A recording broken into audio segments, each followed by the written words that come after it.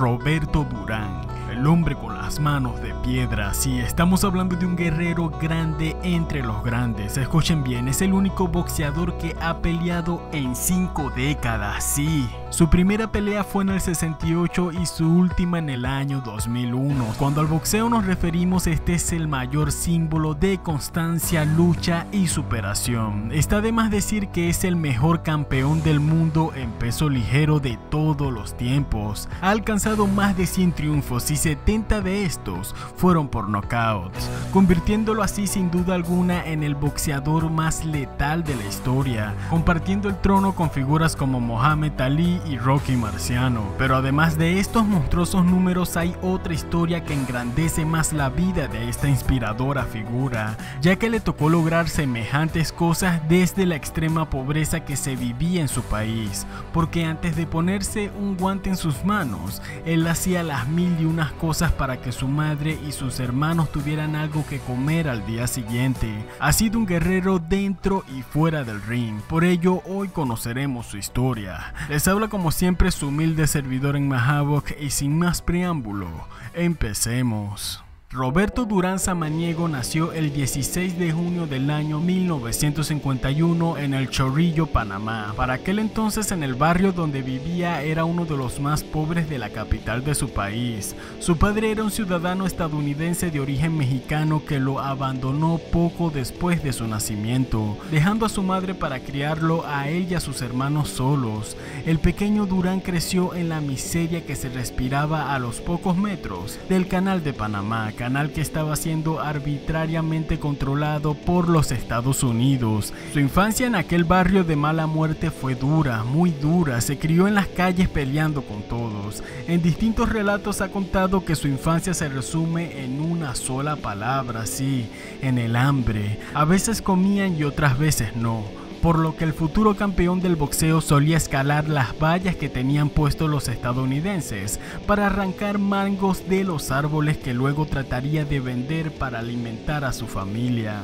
Cuando no podía agarrar los mangos entonces se encontraba limpiando zapatos o vendiendo periódicos para ganar unos pocos centavos. Por esto y mucho más allá del boxeo, el pequeño Roberto Durán ya era un grande. Sin un padre que lo criara tomó buenas decisiones y no recurrió a los malos pasos. Más adelante su hermano que practicaba el boxeo le pidió que lo acompañara al gimnasio y cuando lo vio pegarle a un saco no dudó en intentarlo también. En ese momento ambos se dieron cuenta que su estilo y pegada eran mejores que las de su hermano, por lo que desde adolescente empezó a ser entrenado por Néstor Quiñones, mejor conocido como Plomo Espinosa. Humildemente en su primera pelea como principiante la perdió, pero cuenta que de igual forma estaba feliz porque ganó 3 dólares. Uno y medio tenía que dárselos a su manager, otro dólar se lo dio a su madre y se quedó con medio dólar para él. Así distribuyó las ganancias de su primer combate. Para muchos esto sería ridículamente poco, pero curiosamente él cuenta que en ese momento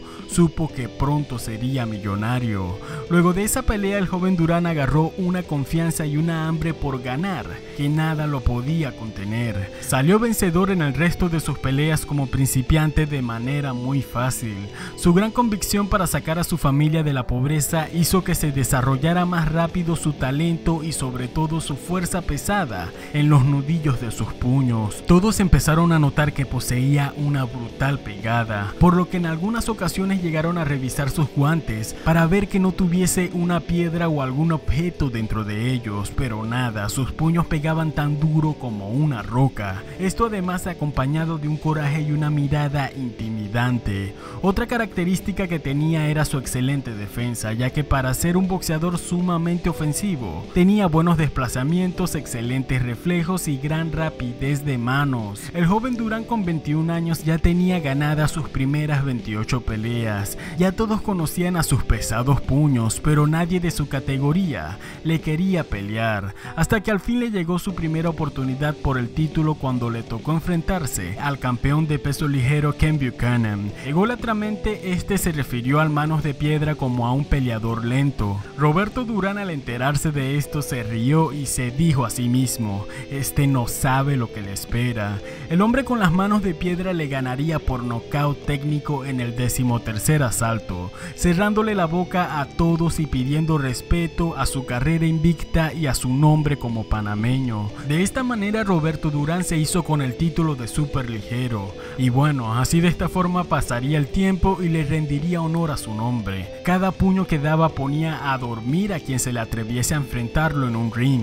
El público que asistía a sus combates estaba acostumbrado a esperar de él un contundente knockout.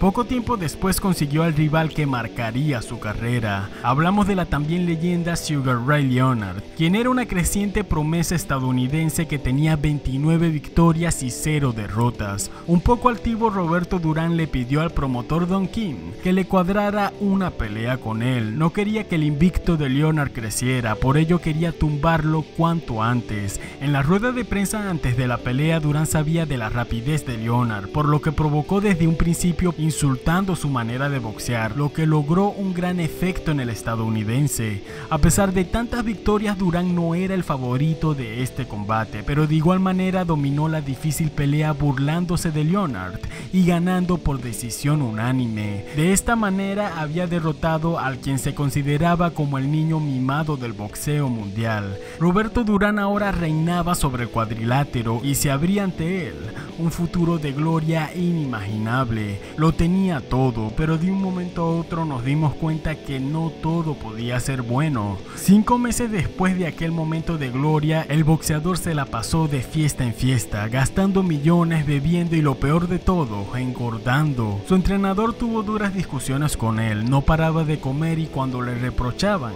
él contestaba de que por favor lo respetaran. Él había pasado toda su infancia con hambre y que ahora quería comer todo lo que no pudo desde niño. Y bueno, quizás entiende un poco el sentir del boxeador, pero precisamente en el boxeo el peso lo es todo. Si no estás en forma, créeme que caerás sin importar de cuán talentoso seas. En medio de estas fiestas y la indisciplina recibe una llamada que le confirmaría que ya estaba lista una revancha contra Sugar Ray Leonard. Al conocer esto tuvo que hacer sacrificios de muerte para bajar el exceso de kilos. Pronto confesaría que estaba casi adicto al café para mantenerse despierto ya que se sentía seco por bajar drásticamente de peso. Su condición no era la mejor.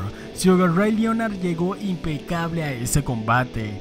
En esa noche Roberto Durán nunca pudo alcanzar a un oponente que no paraba de moverse. En el séptimo round podíamos ver cómo Sugar Ray Leonard empezaba a burlarse de él, agitando uno de sus brazos y golpeándolo con el otro. Casi al final del octavo round, Roberto Durán tomó la decisión que lo marcaría de por vida.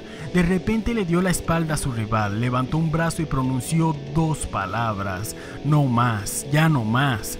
Nadie lo podía creer. ¿Cómo es posible que un boxeador de tan alta trayectoria abandone la pelea de una manera quizás tan humillante? Aún hoy se desconoce el motivo exacto de esta decisión. Él dice que tenía calambres en el estómago y otros afirman que simplemente sabía que ya no podía ganar y estaba cansado, bueno, de la vida que estaba teniendo. Se la vivía pasando hambre ahora por una dieta para luego caerse a golpes con alguien en un ring. Pero bueno, luego de este paso en falso, Roberto Durán deambuló un tiempo en las sombras y podríamos decir que acarició el abismo. Se peleaba en la calle con la gente que lo trataba de cobarde y sobre todo con sus propios fantasmas, porque siempre declaraba que su peor enemigo estaba en su mente. Luego de una infernal lucha consigo mismo logró superarse hasta que regresó a los cuadriláteros para reflotar su carrera y adueñarse de otros títulos. Podríamos decir que volvió a saborear la gloria, pero nunca pudo quitarse de encima esas dos palabras que le cambiaron la vida, palabras que incluso él niega hasta el cansancio haber pronunciado, no más. Más tarde veríamos un tercer enfrentamiento contra Sugar Ray Leonard, esto en el año 89, pero ya los años pasaban y la desigualdad era notoria, donde Leonard ganaría nuevamente, pero podríamos decir que pese a los polémicos capítulos en su vida, Roberto Manos de Piedra Durán está dentro de la historia del boxeo como un grande entre los grandes. Tras su retiro en el año 2001 selló una carrera de 119 peleas, 103 victorias y 16 derrotas. De sus victorias 70 de estas las ganó por nocaut, una verdadera máquina que siempre nos mostró lo que es el verdadero boxeo, sí, golpear con el hambre de vencer y siempre ir por el knockout. Esta ha sido la historia de Roberto Durán, el hombre con las manos de piedra.